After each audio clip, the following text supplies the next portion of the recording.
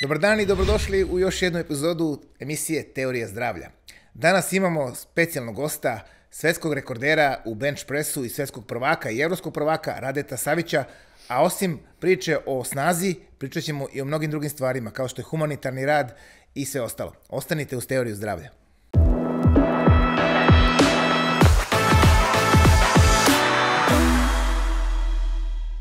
Dobar dan, želimo Radetu Saviću, svetskom rekorderu i svetskom prvaku u bench pressu.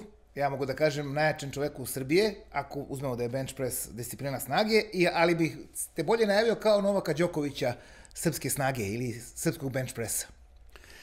Hvala ti na ovakvoj divnoj najavi, ne znam šta bi ti drugo rekao. Radi, zanimljivo, ovo je 11. epizoda, a tebi je sve u broju, brojka 11. 11 puta prvog Balkana, 11, 11 puta prvog države. I, I 2011. si postao svetski prvak. Tako da. Kako Ajde, si ti dobro to sve? Ovaj... Da, opiši nam taj put, evo kad smo već kod broja 11.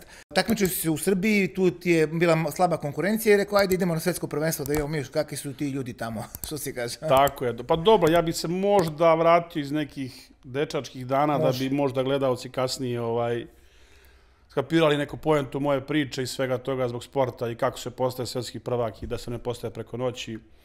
Ova, eto, ja sam sa nekih sedam godina uzeo neki dres i otišao i bio sam prvak države u atletici od, prv, od, drugo, ne, od prvog do četvrtog razreda. I momentalno su me tu prepoznali i otišao sam da treniramo atletiku, atletski klub Takovo. Tadašnji trener je bio Vlastimir Golubović, čuveni Golub. I posle par treninga odmah su me prozvali Rade Ferrari, brz kao Ferrari, jer sam imao onu čuvenu tehniku Mike Johnsona, kad, A, kad zabaci glavu, glavu zabaciš pozadi, to je onako bilo, razumeš me. I mogu da ti kažem da, sam, da bio sam najbolji u, u svom gradu, Gornjem Milanovcu, ovaj, uvek do osnovne i srednje škole, ali nikad nisam bio prvak države u atletici, moram da kažem. Bio sam srednji onako atletičar, ovaj, najbolji možda rezultat mi je bio, treći sam bio na čuvenom krosu politike, na hipodromu mislim da je bio, da. ili u Sremskoj Mitrovici čuveni kros RTS-a, tad sam isto bio jednom treći, četvrti, uvek sam bio od šestog do desetog mesta.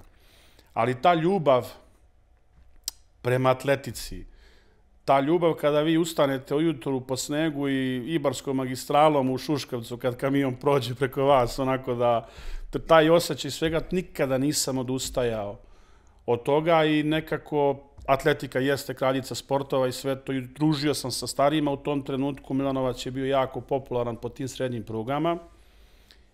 Nažalost, atletski klub Takovo je izgoreo, prostorije su izgorele, mi smo negde morali ili da se bavimo sportom ili da odlazimo u kafanu. Ja sam još bio mlad za kafanu, pa pošto smo mi tu pored imali futbalski klub Takovo, rekao, ajde, pošto sam već brz, možda i nešto i znam, jel tako? I odmah su me dali da igram desno krilo i odmah su mi dali da uđem u drugom polovremenu. Bilo je rezultat 0-0. Igrali smo u Atenici, tamo kod Čačka i, i sam znaš kakvi su ti tereni. Nisu baš onako ravni i sve to, nego malo imaju i brežuljci, moraš malo. Ja sam izašao sam ispred golmana. I već sam sebe video na kolenima kako dajem gol, kako skidam dres, ovo ono, ali nažalost lopta je otišla preko gola i ja sam shvatio da ja nisam za futbol, okačio sam kopački oklin. Tad sam negde imao 16 godina i prvi put sam otišao tad u teretanu i podigao 160 kg tri puta, to je tada bilo neverovatno. Sa 16 godina? Sa 16 godina, da. I ali... tu si zapravo shvatio da si ti zapravo jak, a ne brz. da, ali dobro i kasnije ovaj, da. u dizanju tegova i kada sam obarao svetske rekorde, jako je bilo bitna ta eksplozivna brzina, to jest da. brzina i snagu da upotrebiš. I ovaj, nekako odatle su svi moji snovi se ponovo rodili i uvek sam se takmičio, uvek sam trenirao sa starijim e, ljudima generacije, ako sad on podiže 160, ja 160, uvek sam gledao, oni su me zezali jer sam bio mali, ja sam uvek gledao kako da ih stižem i kako da ih prestižem, onda kada sam bio prvak države, tamo vam, onda su oni već otišli u, u zaborava, ja sam onda onako isplivam. I kada si prvi put postao prvak države? E, ako si... Ja sam prvak države posto, posle godinu dana, sa 17, 17 godina. godina. Da, da, i bio sam, tako što si rekao, 11 puta prvak države, prvak Balkana. I zaista sam... Koliko si podigao tada? Izvini, što te prekidam, ali... Prvi put sam podigao sa opremom, sa opremom, kažem, to su te neke majice koje su specijalne da. i koje imaju posebna vlakna u sebi. i da trebaš imati naravno i adekvatnu tehniku, sve to, prvi put sam podigao 230 kg sa opremom. Na tom takmičenju državnom? Da, da, to je u tom trenutku bilo onako neverovatno za ljude i jednostavno... Sa 17 godina? Tako je, da, ali opet, kako da ti kažem, ali svi su zaboravili da sam ja pre toga trenirao atletiku, ne znam, šest godina i futbal, tako da sam ja već imao iza sebe sedam, osam da, da. godina da. dobar staž, svega da. toga imao sam jedno razvijeno, oformljeno telo, gde je jednostavno tražila. S obzirom da su to te godine već 17, kada smo mi bili u pubertetu, kada ti se kosti razvijaju, kada već ideš i u visinu da. i ovo i ono i kada da radi mišićna masa, ali onda ne, ne trčiš, nego jednostavno dižeš da, tegove, da, da. a onda ti zahtjeva da jedeš drugu hranu i onda jedno tako i rasta ta mišićna masa i tako se jednostavno i rađali ti neki rezultati. Ja sam jednostavno shvatio da je dizanje tegova i taj bench, jednostavno taj moj život i moj svet. Ja sam živeo za taj dane kad ja odlazim na trening, kad se ja spremam, kad pripremam, kad se takmičim, kad trebam da takmičenja i... Zap, da, zapravo ti si uh, shvatio da te, da te ta vrsta sporta motiviše, odnosno da ti to odgovara tvom nekako... Kilaže, jednostavno meni su te kilaže bile izazov. Uvek sam gledao da na svakom treningu podinem veći teret od prethodnog treninga I jednostavno ja sam o tome sanjao, gledao sam te klipove u tom trenutku tih nekih svetskih prvaka, da, kad ću ja da, da dostignem da. ovo, kad ću ja da dostignem ove uspehe da. ili ove rezultate. I nekako e, nikad se nisam plašio tih velikih tereta, a ako imaš u sebi strah onda jednostavno... Dobro, ti si voleo taj osjećaj pobede, jer tebi je svaka podignuta ja težina bila, bila neka vrsta pobede. ja ću tebe prekinuti, da, da se sad onako ovaj, budemo otvoreni i iskreni. Ja mislim da svaki sportista na planeti koji krene da se bavi sportom, a onda ujedno krene profesor, ako nema želju u sebi da pobedi, nikad neće biti šampion. Ja sam uvijek od malena ima želju da pobedim i to me je držalo, a Oni kad mi kažu mi smo sportisti, idemo, važno je učestvovati. Pusti me toga, važno je učestvovati, važno je pobediti. A sad ako dođe neko bolji, naravno da mu treba čestitati. Da, da.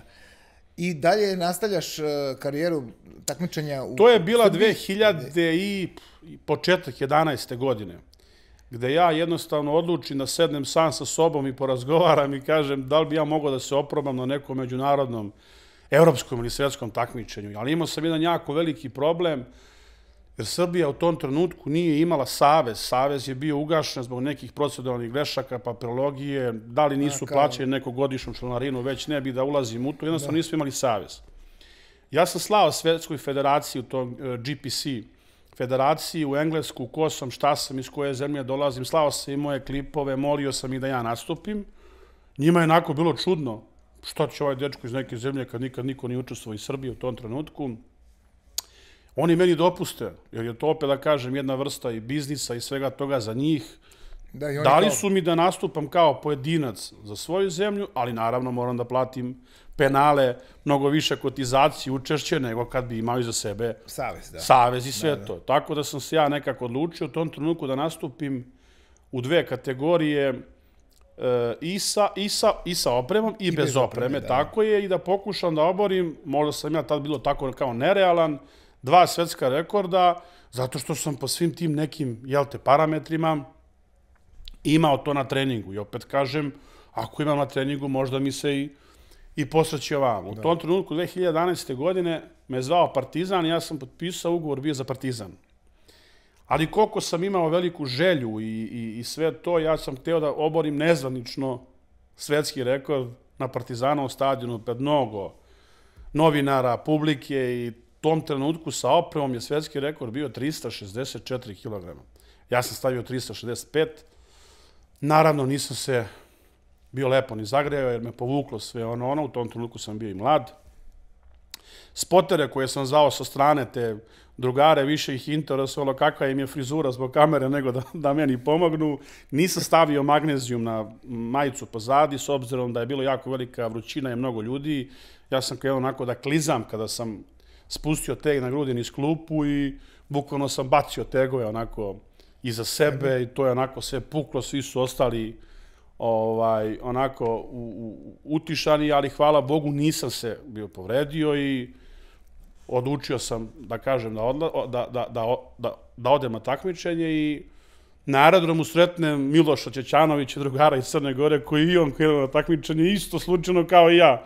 Šta ćemo, kako ćemo, Irska, do Dublina, iz Dublina još 200-300 km, mesto je bilo Limerick kod mora, ovaj, tamo i pošto ja nisam tamo znao ni kakva su pravila, ni šta treba da odradimo, ni vi imate sada dan pre toga merenje i prijavu, posle uveče izlaze liste.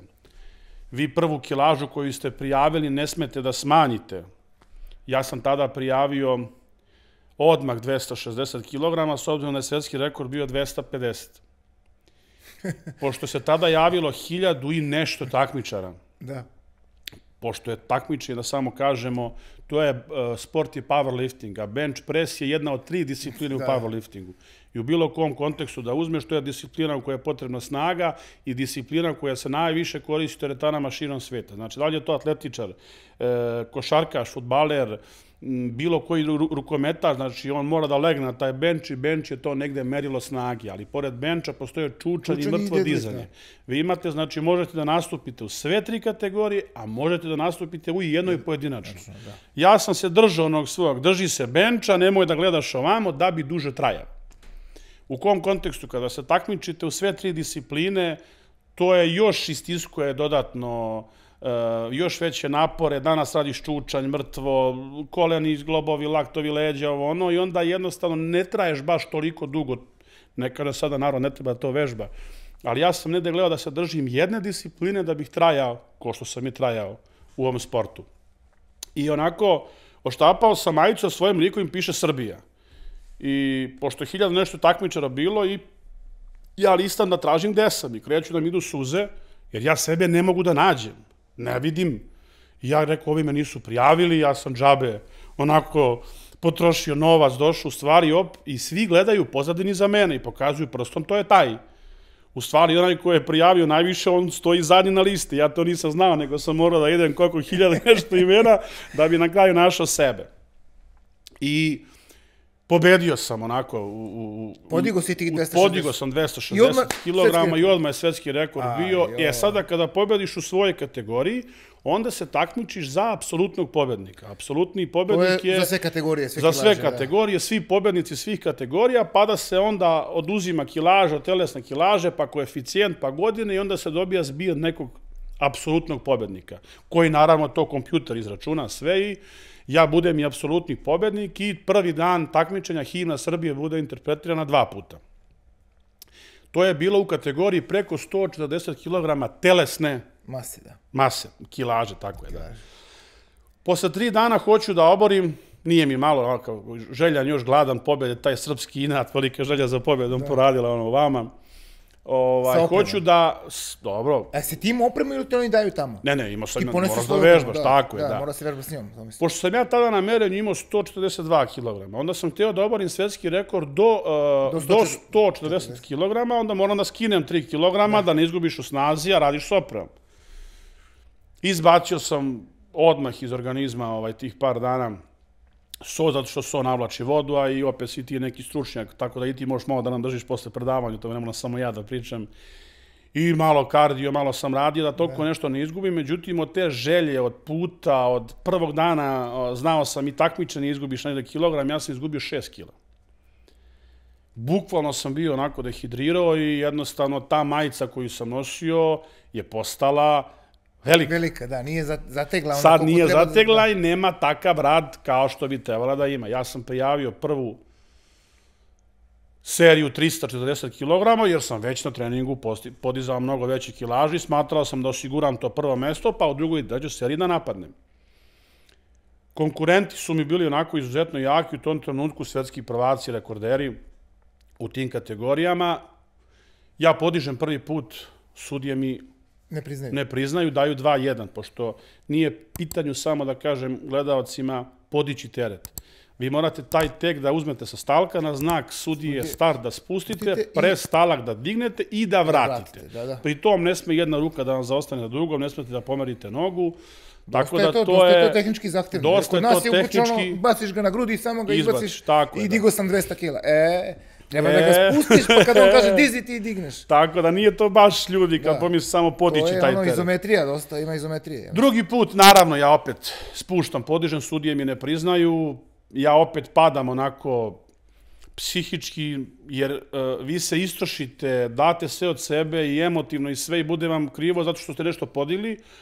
Jer ja još nisam iskapirao da su oni videli već je taj neko došao no, već je jednom bio prvi, šta će mu sad drugo mesto i sudije su jednostavno u tom trenutku bile protiv mene i nisu htjeli da mi daju to prvo mesto koji tad meni to pripadalo, nego su htjeli da daju tom Fincu koji je podigao bio 335 kg u trećoj seriji. Znači sada ako ja podinem u trećoj seriji 340, ja sam opet svetski prvak, nisam oborio svetski rekord sa opremom, ali sam opet tu zlatnu medalju.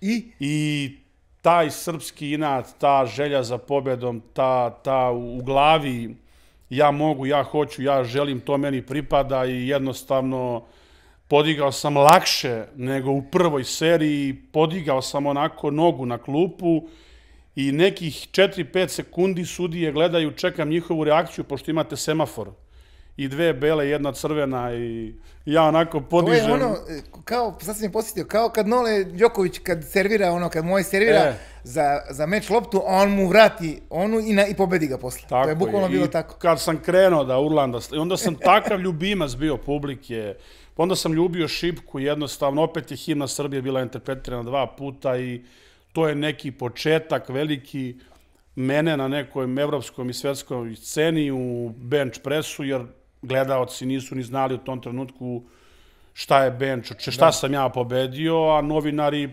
pojedini nisu ni znali, nego su rekli Rade Savić bodybuilder je srušio svet, srušio svet, e, planetu, podigavši ne znam šta i Da, kako. da, A da. Pojasnimo gledalcima, jeste da je bodybuilding se dižu tegovi, a to je lepota, estetika tela, oni podižu teret da bi napravili mišić, a mi svojim mišićem podižemo teret. To nema veze s vezom. I onda sam ja morao da idem, bilo mi jako teško, ali su mi mediji e, jako pomogli u tome, s obzirom da to nije bilo popularan sport, jednostavno te ljudi znaju, da ljudi prepoznaju. Svestan sam bio vremena, situacije, da mi nemamo savez, da sam ja sad svetski prvak, slava jeste lepa, ali kratko traje, ali šta ćemo dalje, jel tako? Mislim, jednostavno i od tog nekog mog trenutka mnoga takmičenja su se pokrenula na nivou države, na nivou Balkana.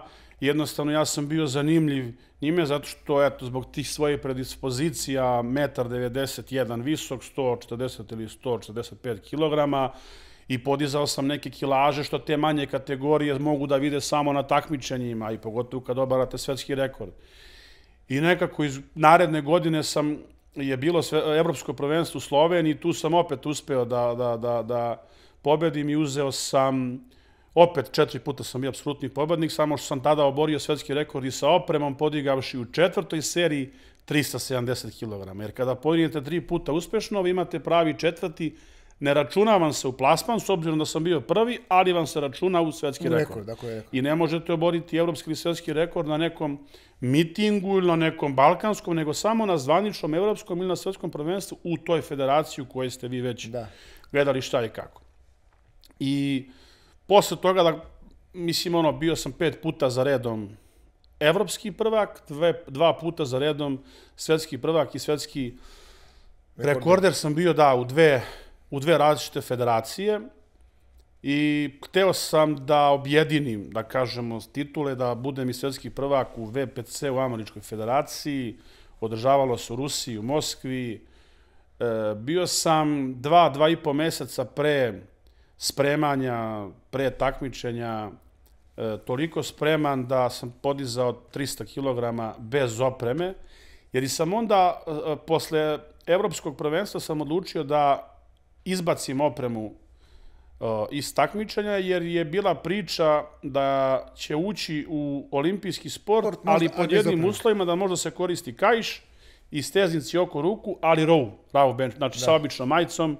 I to mi je negde prijalo zato što su te majice već bile postale negde biznis, ova federacija vam kaže jedan sloj, ova vam kaže dva slojeva, s obzirom da su najveći proizvođači u tom trenutku bili Amerikanci, Amerikanci, Finci, onda vi nedostupni ste da kupite to, to traje mnogo dugo da treba da, da, da, da vam stigne. Pitanje je kad vam stigne da će oni da vam pošalju prave mere, jer to su posebna vlakna u sebi koja ne da tek da spustite na grudi, bukvalno vi tu kilažu morate da vučete na grudi, pritom opet morate mnogo upotrebiti tehniku, a onda imate mnogo malo vremena da se spremite, a njima je to dostupno bilo i oni su verovatno to napravili da bi možda bili neki svetski prvaci u tim nekim svojim tamo kategorijama, zato što je to njima dostupno, a vamo nama nije bilo nije, dostupno. Da. I onda sam ja nekako odlučio da idem samo row i da kažem, uspelo mi, eto, i spremao sam se za, za tu Rusiju, nekako sam izgoreo, imao sam jako veliku želju i što se pripreme bližile,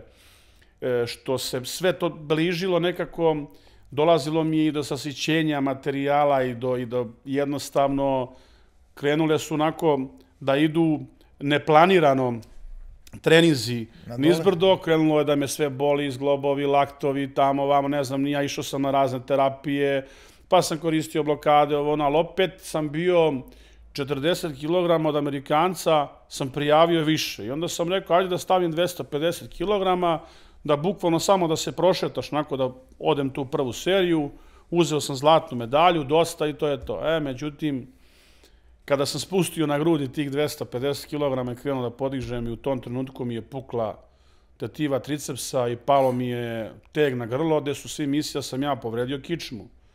U tom trenutku vam se ruši bukvalno ceo svet ispred vas, ne znate šta vas je snašlo u sekundi, a vi ceo život posvetite tome, to vam je onako materijal radni s kojim radite da. svakodnevno i bukvalno ležim na podu, bukvalno umirem od, od bolova, preskačem drugu seriju i u trećoj seriji me oni opet, to njih, to je mašinerija, oni vas prozivaju Rade Savić from Srbija da izađe još jedan pokušaj.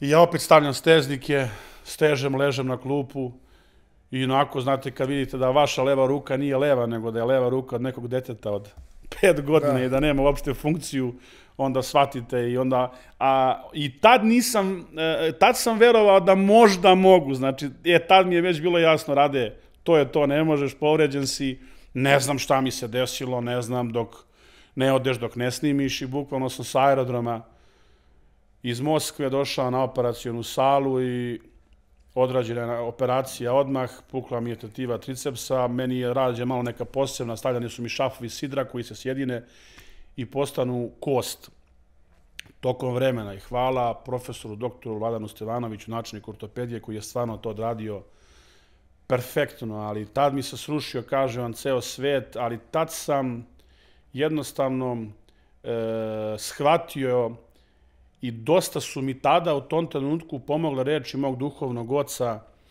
i vladiki starešine hrama Svetog Save kad mi je rekao, brate, rade, ovo ipak dokaz da si ti čovek od krvi od mesa, jer bi bio nerealan čovek da ti se nakon toliko godina bavljenja sportom nije desila neka povreda.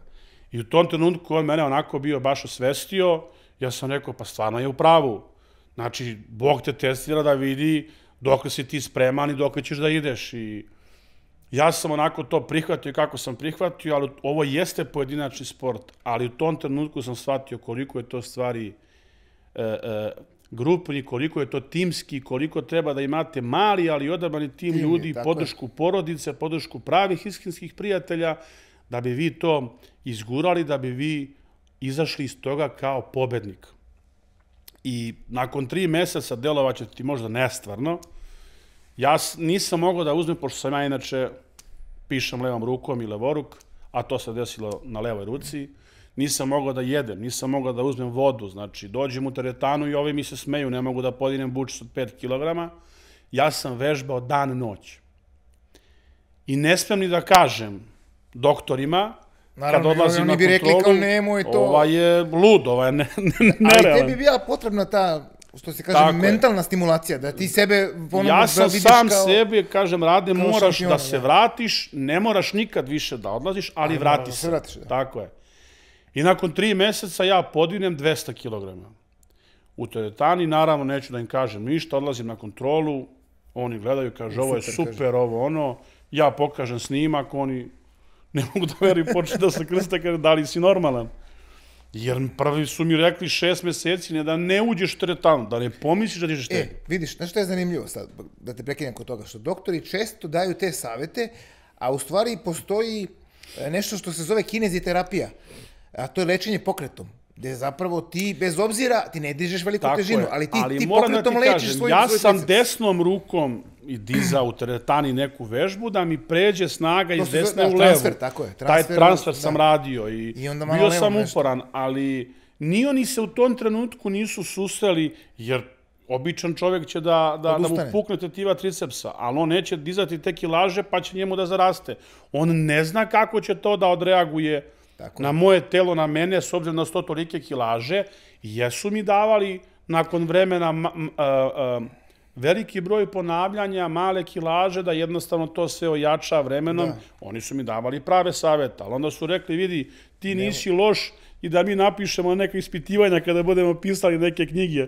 Tako da, sam im je, u, u tome, Dobro, eto, to je, možda... to je šampionski mindset, znači mentalna ta snaga je zapravo pokazala da, da, da može čovjek i da uradi tako nešto. Tako je. Tako da, kada sad sam napravio neki presek što se tiče moje sportske karijere, aktivne i, i profesionalne, imao sam sigurno oko 100 takmičenja i jednom sam samo bio drugi na svetskom prvenstvu, samo jednom sam bio drugi, kada isto sam podigao kao prvi, ali sam kilogram bio Teži. telesni, telesno teži od njega i onda su njemu dali prvo mesto, a meni su dali drugo. Sve ostalo su bila prva mesta. I mislim da sam jako puno uradio za sebe, jako puno radio za državu Srbiju, da sam lepo prezentovao svoju zemlju na najlepšem mogućem svetlu, da sam popularizovao ovaj sport u tom trenutku je posle bilo i preko 200 takmičara na državnim prvenstvima. Sada je to mnogo drugačije u Srbiji, sada smo priznati od Sport Akorda, od Ministarstva omladine i sporta, Sportskog saveza, mi smo sad priznati, mislim da smo stavljeni u, u treću grupu sportova. Jako mi je drago zbog toga. Eto, možda bih samo eto rekao da ne pokušam da ne uvredim neke drugare. Mene nikada nije zanimalo da se bavim da budem predsednik te neke federacije. Ovo, ono, uvek sam voleo da svojim prisustvom, svojom podrškom dam drugima. E, jedini vid je da se svi ujedine, da kažemo, u, u jednu federaciju, da bi se sportom masovio, a ne da se razdvajaju. Ali opet kažemo, postoje tu malo neke nesuglasice, Pa, to svađe, to, mi smo kao takvi kao sportu, Srbi, da. da. Ali ja evo dajem njima poruku, veliki si onda kada znaš da oprostiš, neko mora i da oprosti i da povuče ručnu, da bi gledao ne za svoj lični interes, nego za interes, interes sporta, sporta, i za pa interes da. tih mladih ljudi, jer što više ljudi mladih na tom takmičenju, bit će mnogo bolje, bit će mnogo bolje rezultati i onda ćemo mnogo bolje prolaziti na evropskim i svetskim takmičenjima. E, Pre nego što pređemo na druge zanimljive teme, nakon karijere, oko, e, jesi ti postao do, uspešan i u biznisu, ovaj, ja ću da te pitam, pošto je sama ova emisija ime Teorija zdravlja, e sad e, ćemo preći na jedan aspekt koji je jako bitan za sport, a to je ishrana. Kako si se ti hranio, ko- koje su to količine hrane, ugljenih hidrata, proteina, masti? Da li si pravio neke planove ili si ono što se kaže, Uh, Jeo po ja ti nešto, ono. da, po srpski. Ja ti nešto nisam baš mero da vam za to, ali pokušat ću gledalcima onako da Ovaj, naravno da ne možeš da ideš 300 kg da jedeš samo belanca. Ne da možeš da se ne budeš lažemo, kaže. jeste zdravo, to je čist protein, ima 3 Tako grama proteina, ali ne možeš jesti, E, moraš i još, jeći. još nešto bi ti pitao. Ja. Da li možeš da digneš 300 kg ako si vegan? Ja mislim da nema šanse. To su mi E, rekli mnogi tre- ve- veliki treneri, kondicioni i treneri snage. Kaže, ok, to biti vegan ako ti to, ali ti nema šanse da imaš toliko snagu kao neko ko jede meso. Ja ću ti, na primjer, reći dok sam se bavio aktivno sportom i odlazio na takmičanje, da mi, na primjer, vladika i uh, Dali su ti razrešenje za post, jel tako? e, nije mi dao da postim. E pa to. Jer je smatrao da ne mogu da napravim rezultat, samo mi je rekao, brate, rade, ima vremena kad ćeš da postiš kada postiš, budeš tako je. završio Znači, karijeru. dobio si razrešenje duhovnika, što je Tako faktički je, i ja, E. evo sad će u ponedeljak je ide i veliki uskršen. uskršnji ovaj post i onda ja smanjujem intenzitet treninga jer nemaš toliko snage na Tako je, posnoj tako. hrani. Tako da mislim da jako, jako teško. Teško. Jako, jako Tako da teško. mogle- Ja Mora se jede moje meso. pripreme, mora se jede i to crveno meso, teletina, junetina, tako jer Koliko crveno, ti najviše mogu da pojedeš u toku dana? Pa gledaj, Kilogram. to kad da pojedeš. Kilogram do kilogram i 200-300 grama dnevno raspodeliš na 3-4 Pa obroka, da, tako je, znači u tokom dana i velika količina ugljenih Pirinač. ugljenih hidrata, Da, krompir, pirinač, krompir, da. e, grilovano povrće, krompir, salate razne, ali opet kažemo i velika podrška, naravno i, i suplementenata, Suplementacija, suplementacija koja jedno bez drugoga ne može, jer evo daću ti na primjer jedan banalan primjer da, da na jednom treningu kada se spremaš za takmičenje, to su mnogo i mnogo tona uh, tegova, Da. serija, puta, puta, puta i kad na kraju staviš, podvučeš onako liniju, ti podineš na jednom treningu za 3-4 sata koliko ti traje ovaj trening između 30 i 40 tona. Au. Kako ćeš da se oporaviš sutra za naredni trening? Ili preko sezone sutra, tamo da. trening, Ako ne unosiš za... ako ne uneseš adekvatnu ishranu, adekvatnu suplementaciju, oporavak, je- jer i ne može da vrhunski rezultat, svetski rezultat ne može da se postigne da se vi bavite još nečim dodatnim. Jednostavno ustaneš i ceo dan misliš o tome. Jednostavno to je bio moj život, ja sam za to živeo, ja sam imao taj neki cilj, hoću da budem najbolji, hoću da podinem, ne znam, 300 kg iz iz benča, bez opreme, ja sam podigao u Makedoniji nezvanično, ali s obzirom da nije bilo zvanično evropsko i svetsko takmičenje, nije mi bilo priznato. 290 sam podigao bez opreme najviše i u tom trenutku je to stvarno bilo abnormalno mnogo e, gledao. Ja sam sam sebi bio i trener i sve e, i kada sam dostigao neki vrhunac e, rezultata, gledao sam kako da, da savršen budem u toj tehnici, jer, na primjer, kada vi uzmete teg i kada vi to jako polako spuštate, pa je polako dižete i to traje, na primjer, 5 sekundi, a taj isti teret podignete za 2 sekunde ili 2,5 sekunde, naravno da ćete podići 10 do 15 ili 20 kg više, Više. jer ste manje fizički držali teg na rukama. Da, to se zove time under, under tension, što bi rekli amerikanci, ili, ili vreme pod tenzijom. Onda morate spustiti jako brzo tegove na grudi, a da ne odbijete od grudi, zato postoje razne vežbe, Da. ra, određene kako se koje radi, bench Jako. spoda, zaključavanje, to je već, da kažem, ja sam onako ulazio u neku u neki srž materije, pa sam onda prvi uveo taj neki katapult koji u Srbiji nisu ni znali. To su posebne trake od lakta do lakta sa običnom majicom, gde se radi na toj nekoj eksplozivnosti, gde vi sad podignete ono što podignete jednom, podićete 6 do 8 puta, da vam sistem centralni Da. nervni shvati da ste vi to nešto podigli Podigli, šest jeste. puta, pa kad to skinete, onda vam je to jedno mnogo lakše. Da, jer zapravo uh, tim, tim težinama čovjek vežba uh, CNS, a ne, ne vežba ove mišiće koje dižu. Nego mozak mora da kaže, ej, uh, kontrahuj toliko vlakana koliko treba da se podigne 300 kila. Pa dobro, u prevodu. Džaba ti da budeš fizički snažan ako nisi mentalno jak. Jeste. Jako To je jednostavno... razlika između bodybuildinga i, i, i dizanja tegova, odnosno powerliftinga, uh, između te hipertrofije i snage klasične. Jer i ovo razvija snagu, određenu snagu i mišiće. Ali ja se njima a zaista divim. Ja ne mogu dijetu, jednostavno ne, jednostavno ne mogu. Nisam čovjek da mogu da, da budem na dijeti, volim da jedem gurman sam i kad sam Dobro, sit, onda sam najmirniji. To je, to je razlika u, Da. u psihologiji i ličnosti i neurotipovima. Baš sam objašnjavao to i mojim kolegama ovde, da ljudi koji su više neuralni tipovi, odnosno e, koji su, ja to kažem, dopamin dominantni, oni više vole da dižu int- intenzivno, kao što je recimo, kao što si ti, kao što je Asmir. Njih te, taj intenzitet pokreće, a ljudi koji su koji reaguju na, na druge neurotransmitere kao što su glutamat ili nešto, oni mogu da rade 12-15 ponavljanja. Dobro, ja, ali ja mi sam radimo da jako- ti ne možeš da radiš Ja, često, ne mogu, često ne, ne. 15 ponavljanja. Ne, Kad bi ti ne, neko dao, ti bi rekao, smorit ću Da, mi, mi radimo velike kilaže. Tu se radi negde snaga. Velike kilaže, manji broj ponavljanja i tu pravimo te obime na toj velikoj kilaži. Da, da, to, to je sve regularno. Nego, nego ću ti kažem o tom mentalnom pristupu. Recimo, bodybuilder može da uradi 12 do 15 ponavljanja polako sa stezanjem.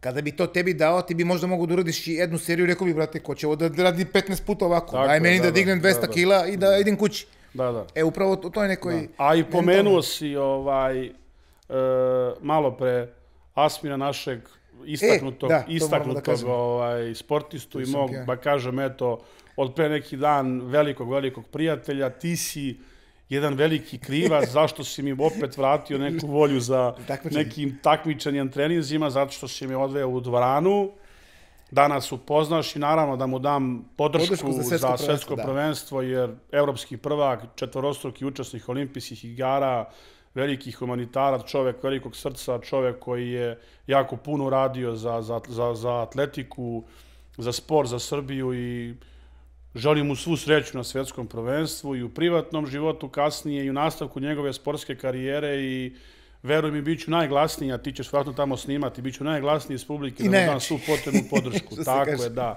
Ali, e, eto, video si da, je- da nismo mogli da sakrijemo emocije i šta znače sportisti koji su ono, ja sam us odmah izvinuo, a znam kada se spremaš za veliko takmičenje, a hoćemo da ispoštujemo i vas medije, koliko mora da fokus Da. ode na drugu I stranu. on je pristao odmah. Pazi, On on, je- se, on ima dve nedelje do svetskog prvenstva, on je rekao, Tako je. nema problema, nek dođe, Tako rade. je, ja sam se njemu, kuglu, ja sam se njemu ovaj, zahvalio. Svi su mislili da sam se ja da sam ja trenirao kuglu. Ja ne da sad nešto se pravdam, ja nikad u životu to nisam bacio. Hteo sam da e, pokušam u što kraćem vremenskom periodu da savladam tehniku i zaista da bacim koliko sam bacio. Sad ne znam koliko je to bilo, možda neko nekih tamo 12 metara. Nažalost, video si sam da sam povredio bio zadnju ložu i da nisam mogao da dam svoj maksimum, ali sam opet deo sebe dao i hteo da budem najbolji. A opet, s druge strane, video si njega koliko mu je bilo krivo, koliko mu je bilo teško i koliko nije mogao dok ste vi bili prisutni da se fokusira i da odradi kvalitetan trening. Tek kasnije, kada sam mu ja rekao, pusti mene, ja sam sad rekreativno, proći će, to je normalno, to je sastavni deo On se, da, malo, Ovaj- se, malo se, što se kaže, bio i izmestio zbog tvoje povrede. Bilo mu je krivo što se povredio. Ali dobro, ljudi mora da znaju da su sportisti ljudi, da su sportisti e, ranjivi, da jednostavno profesionalno bavljanje sportom istiskuje jednu vrstu rizika i da mi moramo biti spremni na to.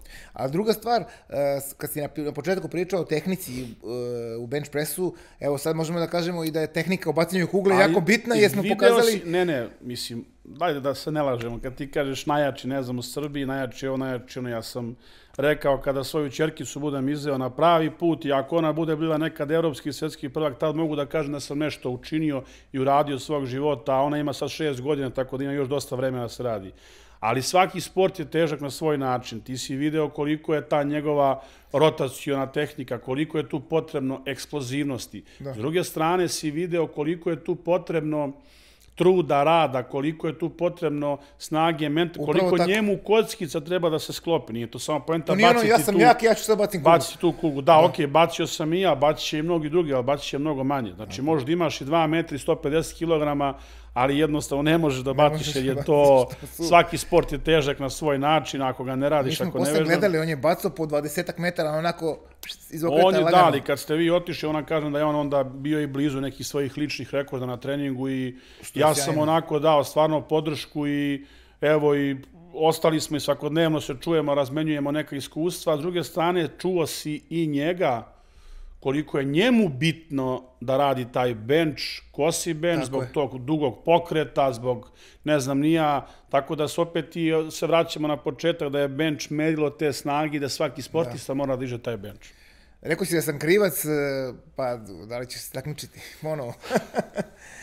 Nema, Ali ne- pazi, možeš se takmičiš kao trener, da uzmeš nekog mladog, talentovnog dizača i da kroz ja taj, sam, taj rad... ja sam napravio par, svoj. moram da ti kažem, ja sam napravio par svojih, par svojih, par šampiona u nekim juniorskim, e, seniorskim, čak neko je bio i balkanski, neko evropski, neko svetski prvak.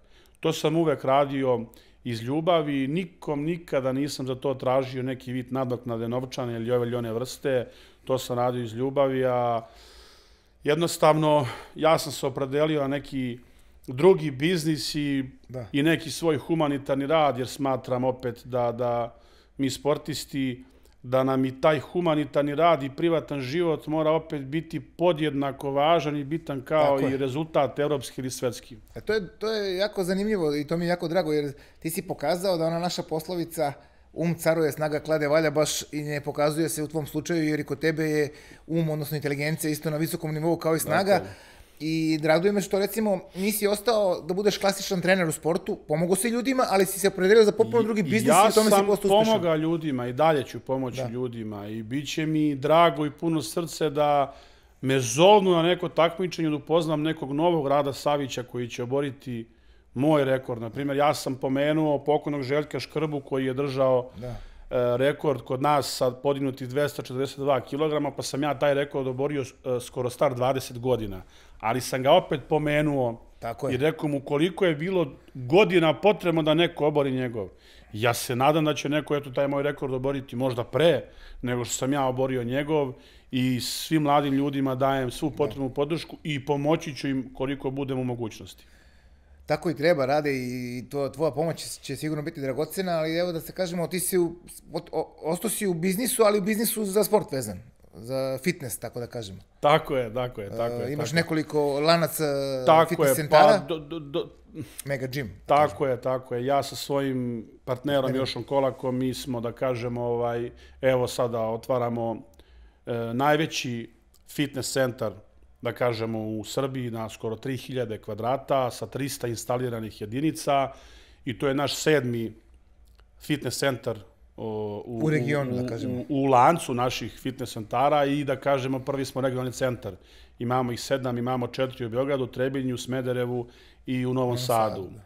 Trudili smo se da malo tu fitness industriju podinemo na jednu lestvicu, da kažem, više, a i da dokažemo da smo domaći brend i da dokažemo da jednostavno smo uh, barabar sa svetskim vodećim brendovima u toj fitness industriji, jer fitness industrija sve više ljudi je krenulo da, da vežba, da vežba i je, da. jednostavno da li od ovog vremena i pogotovo od korone nekako živimo u teškom vremenu, svi smo toga svesni, a jednostavno i tvoja žena ovaj, je lekar, koliko da. znam, i verovatno mnogo ljudi koji doživi, ne znam, nija pritisak ili ovo, i oni kažu, idi šeta, idi u teretanu, idi Upravo kardio. Tako, da. Pokušaj da tu negde... Vežbanje je najbolji lek. Pokušaj da. da tu negde negativnu energiju tih 45 minuta koliko je potrebno, dva do tri puta sedmično rekreativno izbaciš iz sebe, napuniš se nekom pozitivnom energijom. Tako da, Ovde još je nekom uzaznom putanjom, da kažem da je negde par procenata samo u Srbiji, 4 do 5 mislim da je to negde vežbanje, a u Evropskoj uniji čak do 15%. U nekim zemljama i više. U nekim Danska, zemljama, u nekim Švedska, zemljama je, je i, u nekim zemljama je i više. Neke zemlje, neke firme inostrane, na primjer, koliko sad sarađujem i radim sa njima, njihovi radnici su obavezi da vežbaju. Da vežbaju da. Sada e, inostrane firme plaćaju radnicima teretanu da vežbaju, da budu spremni. E, tako smanjuju troškove lečenja, mislim, ono, zdravstvene e, nege i to. Tako je, ne kaže se da je u zdravom telu zdrav duh i da, da mislim da je bavljenje sportom najveće bogatstvo, najveće zdravlje i jednostavno ne može niko da mi kaže da ne može da odvoji 2 do 3 ovaj, dana u sedmici, da, da pola sata 45 minuta, mislim. Da, e, je... U Evropi je malo i u svetu drugačije, vi teretane rade po 24 sata, vi dobijete narokvicu ako ste njihov član, nekad budete i sami, a e, sistem Balkana je malo drugačiji, da ljudi vole da se druže, da popričaju teretani, da. to će jednostavno pa, trajati. Pa u kafani, tako i teretani, kao, sedmiš, tako je, da. ovde dižemo bench, tamo tako ćemo je, da pijemo tako nešto. Tako da, eto, tako da, meni je drago da je Novi Sad baš dobio tako najveći jedan, taj fitness uh, centar u, u, u Srbiji, da Novi Sad to zaslužuje, Novi Sad je prelep grad i nadam se da će puno odatle izaći novih, novih šampiona, šampiona, novih evropskih ili svetskih rekordera prvaka u nekim drugim raznim kategorijama. Mi ćemo se truditi da to opravdamo kroz naš kvalitet, s obzirom da stavljamo iz prave zadnje generacije, gde ljudi jednostavno nisu to mogli da vide, a tu će moći da vide, a jednostavno stavit ćemo neku zaista normalnu cenu gde će biti prihvatljivo za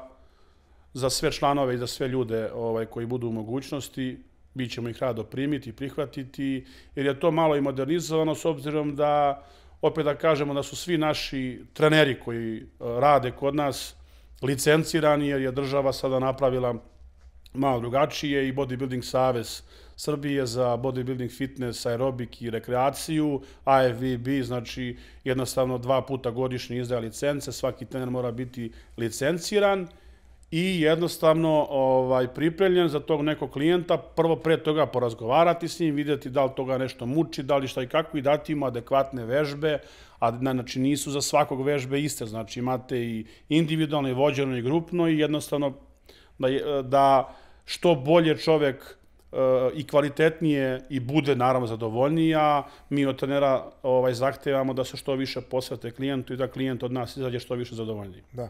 To je svakako sjajna stvar uopšte za srpski sport i za fitness u našoj, našoj zemlji.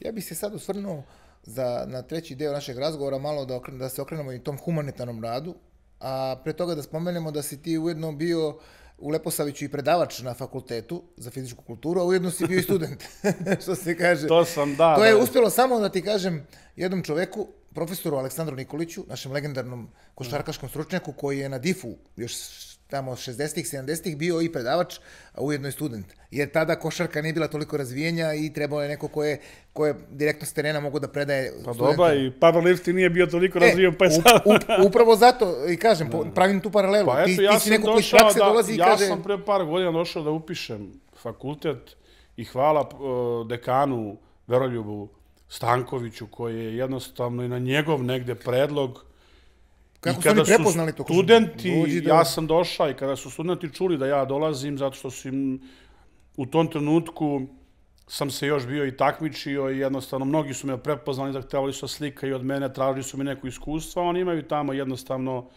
predmete koji su vezane za snagu, za Tako dizanje je. tegova i jednostavno kaže da li bi ti voleo da onda budeš i naš stručni konsultant i da održiš s, uh, studentima nekad predavanje kad se budemo dogovorili, ja sam im održao predavanje i onako je baš ostavio lep utisak na mene, a i jednostavno, eto, e, hvala njima i ovom prilikom ih pozdravljam što se i oni zalažu da naš fakultet dole i dalje traje i da ljudi dolaze i da jednostavno ima što više studenta i dole. Da.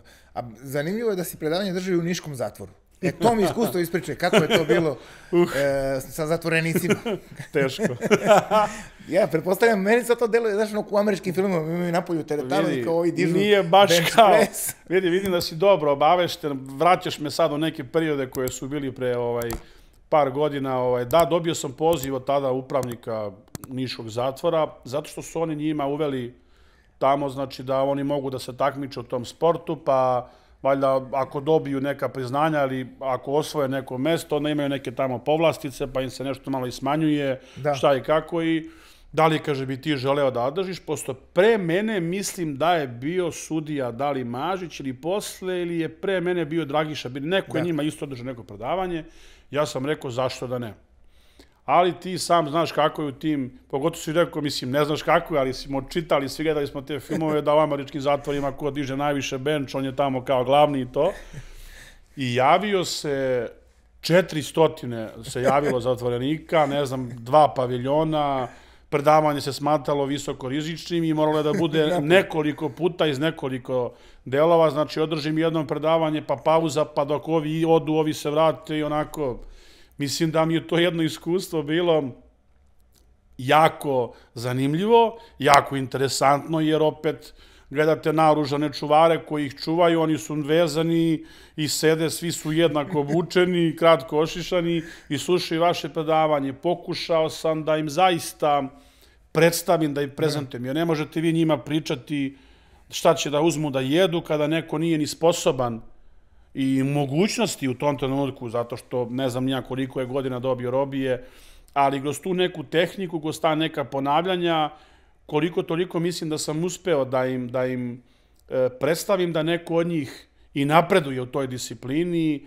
a to je i govorilo na primjeru kada i dan danas negde putujem po Srbiji, pa nekoga sretnim i kaže, ej, brate, da te pozdravim, slušao sam tvoje predavanje iz zatvora, bio sam u zatvoru na 7-8 godina, hvala ti, meni je to pomoglo. E, meni je to negde plus i negde moja, moja, da kažem, uspeh, što sam uspeo u svemu da. tome, a to je dokaz da mi možemo skrenuti s puta, naravno da svi mi grešimo, ali uvek možemo da se ispravimo. Da se vratimo, a i dokaz da sport prodire i nalazi put ma gde god čovjek bio, gde se god nalazi. Pa da, kao fizička aktivnost. Ja, ja čak smatram da, da kad bi im uveli redovnu fizičku aktivnost, manje bi u zatvoru bilo tih agresivnih ponašanja, prepostavljam da ima toga, jer ljudi su zatvoreni, a ovako kad Tako se istrošiš... je, posle toga nisam odlazio, znam da su oni imali ta takmičenja, pa su osvajali neke medalje, a onda i kad zna da ima takmičenje tu, onda on mora i da trenira, pa je onda negde I fokusiran više I na to, fokusira ne više na to, o, tako da, eto. o tome što je zatvoren, da. bilo je zanimljivo. Bilo je zanimljivo, da. Ovaj, e, ti si imao i e, ak- akciju sa ambasadom Malezije. jedno Ej, tako iskustvo- je. Da, da, uf, to je jedno onako da kažemo, baš iskustvo, eto kažemo, opet nije sport toliko da kažemo popularan, svestan sam da e, gde živim, svestan sam svega, svestan sam da ovaj sport nema para i hteo sam da prezentujem s- celog sebe i staje neki humanitarni rad i bio sam te godine zaštitno lice malezijske ambasade i malezijskog dobrotvornog bazara koji je imao za cilj prikupljanje sredstava u ne toliko razvijenim opštinama sa etničkim mesanim stanovništvom kako bi se promovisala nacionalna integracija. I skupili smo m, 300.000 dinara u osnovnoj školi u Medveđi i 500.000 dinara osnovnoj školi, osnovnoj školi u Sjenici e, u, vrednosti školske opreme što su oni zahtevali. Mi smo to uručili, predali, ali sam ja nekako na moju inicijativu uspeo, kada me ambasador pitao da li bi neko, pošto su oni da kažemo e, muslimani, predstavnici su svih muslimanskih zemalja u svetu, da li bi neko iz Srpske pravoslavne crkve održao govor pred ovde prisutnim ljudima. Ja sam na moju inicijativu zamolio sam ljude iz Srpske pravoslavne crkve i starešina hrama Svetog Sava i vladika Stefan je, ovaj, mi je izašao susret i došli smo i bilo je fenomenalno zato što sam uspeo na tom skupu da održi govor i neko iz muslimanske zajednice Srpske pravoslavne crkve i da predstavimo da nebitno koje smo nacionalnosti, da jednostavno širimo ljubav, širimo mir i da smo svi jednaki, da trebamo da se držimo, da se čuvamo, da nema mržnje, netrpeljivosti i to se nekako ambasadoru svidelo i onda sam dobio VVIP poziv. Meni je to bilo onako čudno, zvali su me iz ambasade da dođem na razgovor. I kaže, dobio si VVIP poziv, vlada Malezije izrazila želju da te upoznam. I ja u tom trenutku onako pogledam onako sastanak sa predsednikom, premijerom, gradonačelnikom Kuala Rumpula, ministrom sporta, najbogatijim malezilcem, kraljem države, ja kažem, ovo je malo neki film i nestano za mene u tom trenutku, jel te, ovaj.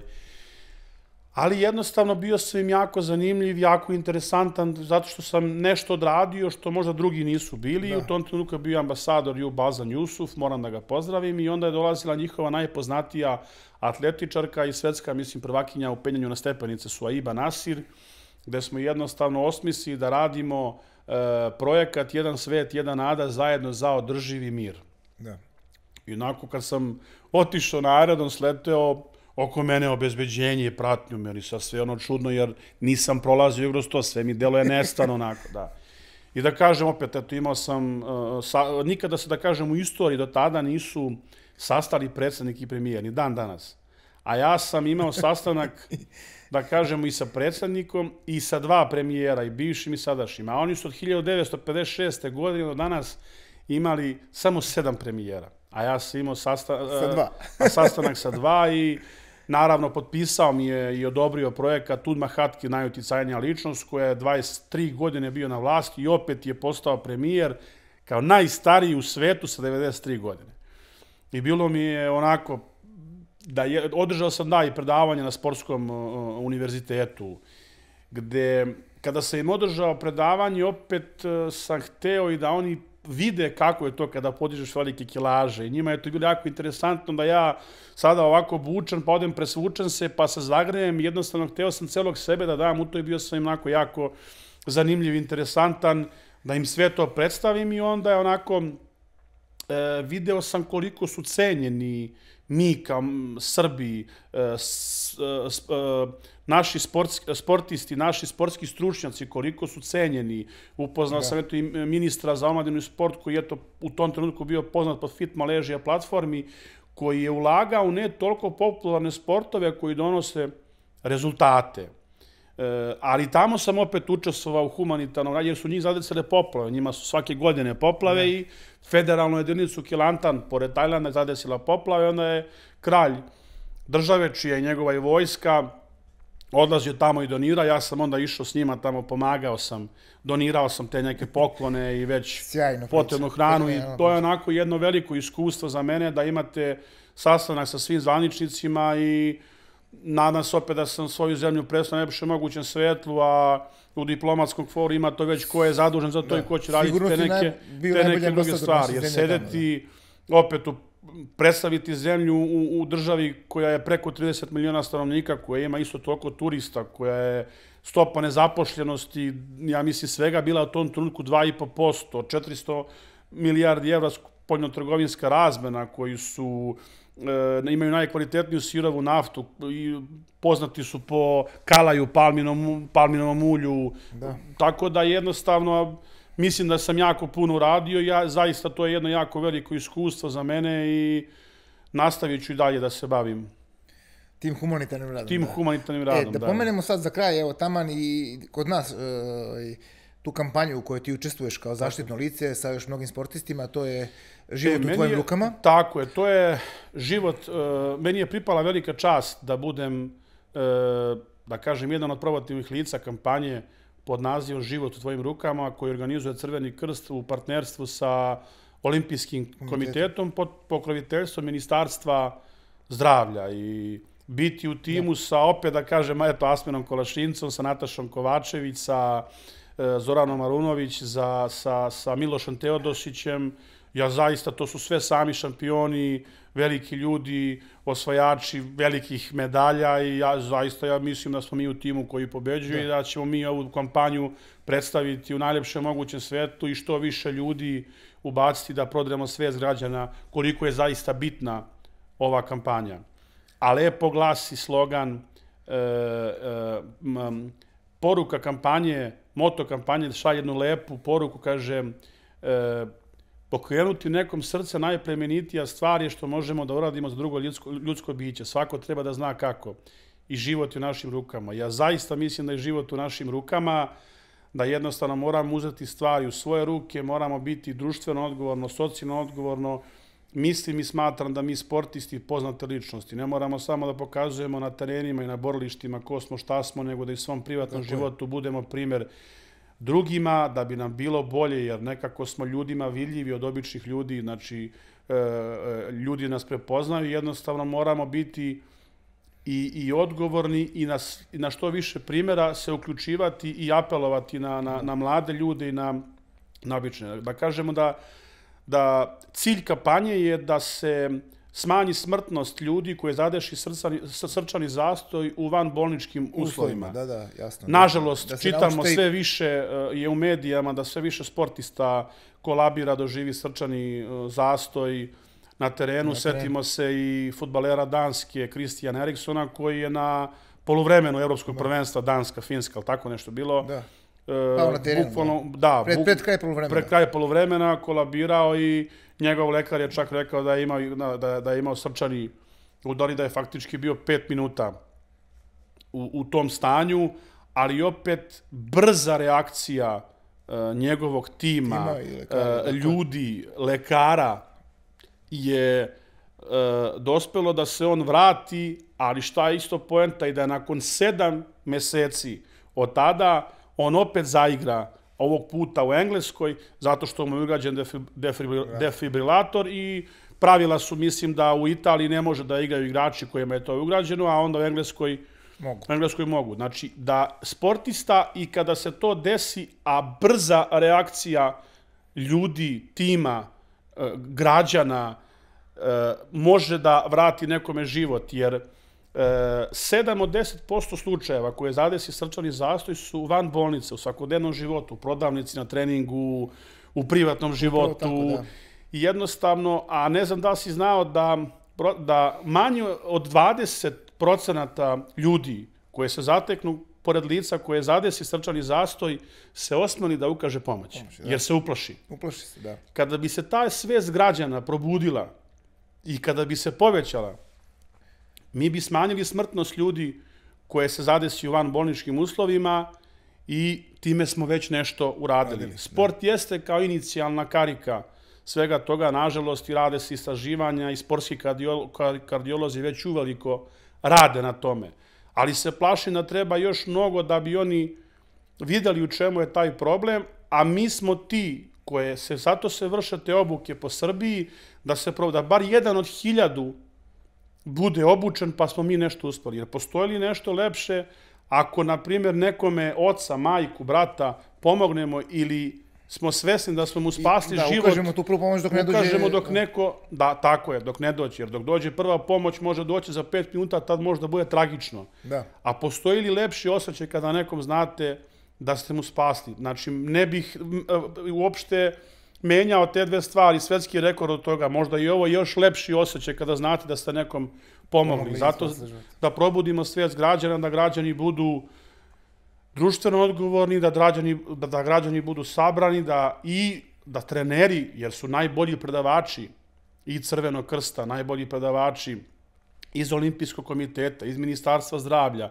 da od malena ljudi, znači od srednjih škola jednostavno krenemo sa tom kampanjom da se probudi svest koliko je bitno da se ne uspaničimo, koliko je bitno da nekom u tom trenutku pomognemo, a koliko smo srećni ako smo nekom pomogli, time smo smanjili, smanjili smrtnost. Da. Nema bolje poruke za kraj. Rade, hvala ti puno što si bio gost moje emisiji. Ovo je stvarno bilo jedno zanimljivo gostovanje, zanimljiva priča i verujem da će ljudi to da odgledaju u jednom dahu, jer ono, nisu imali priliku da čuju ovakvu priču sigurno. Ja se nadam da gledalcima nisam bio dosadan, da eto, imali su razne teme da čuju, a opet kažemo, ova, eto, obuka je sada u Smederevu pa u Novom Sadu i eto, pozivam što više ljudi da se priključe ovoj kampanji, jer da kažem da će se kampanja preseliti na druge društvene e, organizacije, društvene mreže i, i, i, i na druge sfere, znači od glume, od sporta, od muzike. Drugih, od muzike, da, tako je, tako je, tako je, da probudimo bukvalno celokupnu svest. Da. Nadam se da će biti tako. Hvala ti još jednom i vidjet ćemo se sigurno još neki put ovde u emisiji kada obrnemo krug, što se kaže, sa gostima. Hvala i tebi i pozdrav svim gledalcima još jednom.